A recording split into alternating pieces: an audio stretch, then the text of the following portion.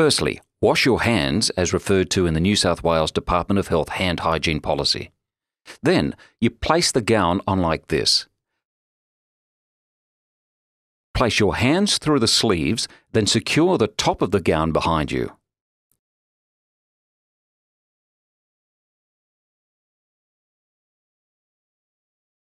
To secure the middle of the gown, make sure the ties are placed in a position where you can easily untie them when you are removing the personal protective equipment.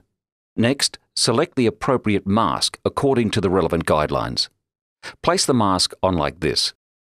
Place an elastic loop over each ear, then open up the mask so it covers the chin and goes over the nose. Using both pointer fingers, mould the bridge over the nose.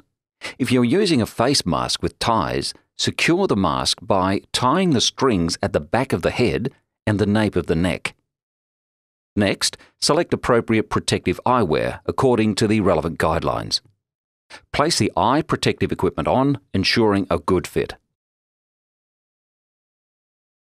Finally, you put on your gloves. Ensure that the gloves are the correct size and are placed over the sleeves of the gown as demonstrated here.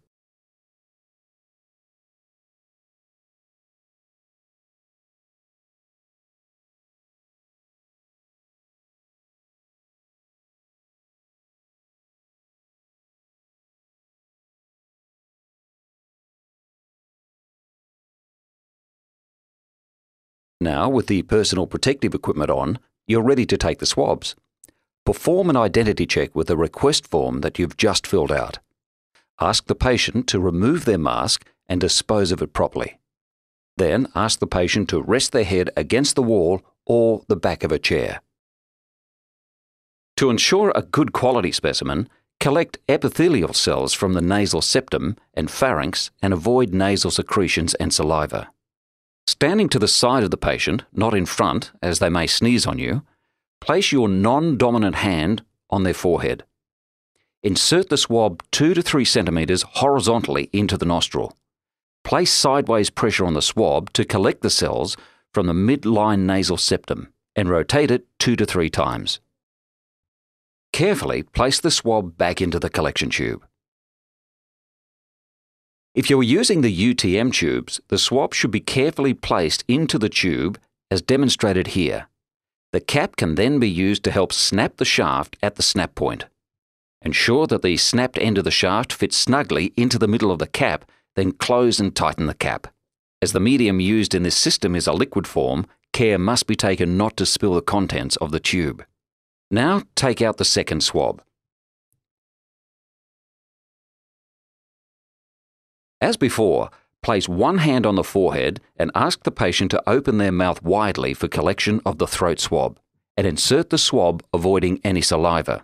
The uvula hangs from the center of the throat with the faucial pillars on either side. The swab needs to be placed just behind the faucial pillars. Place sideways pressure on the swab to collect the epithelial cells from the pharynx. Then, place the swab back into the swab tube. The collection procedure is now finished. The collector takes off their gloves and performs hand hygiene.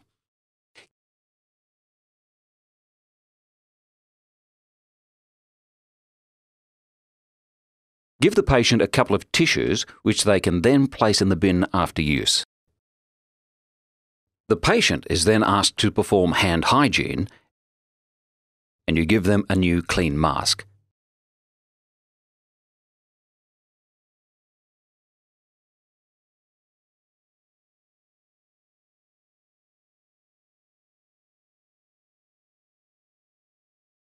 The patient may now leave.